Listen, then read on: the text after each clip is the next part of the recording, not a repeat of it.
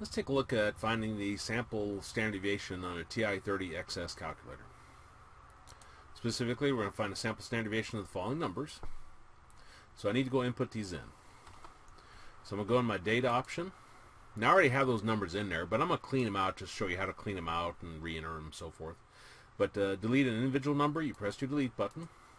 To clear out the entire list, you press your data button, and it brings this uh, the clear menu up and then you push enter on clear one and it clears it out. Okay, so I'm going to type in each number, pressing enter after each one.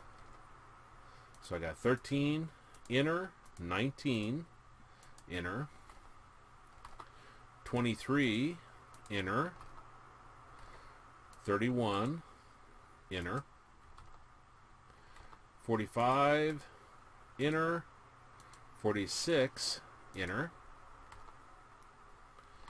47 enter 51 enter and 53 enter I would recommend your stats course that you go up and down up arrow and verify all of your numbers. So easy to type a number in wrong.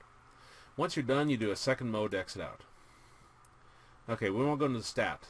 Uh, so I do second data to access stat. And I want to choose one-var stats. I got a single list of numbers press enter on it.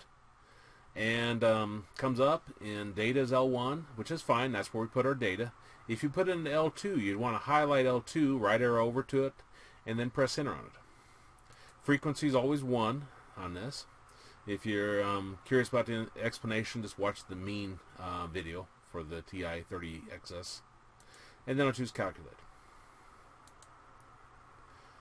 Now if I down arrow don't have to down arrow but the third one, the SX, this is our sample standard deviation. So it's 15.11 if I round it two decimal places. So that's our sample standard deviation.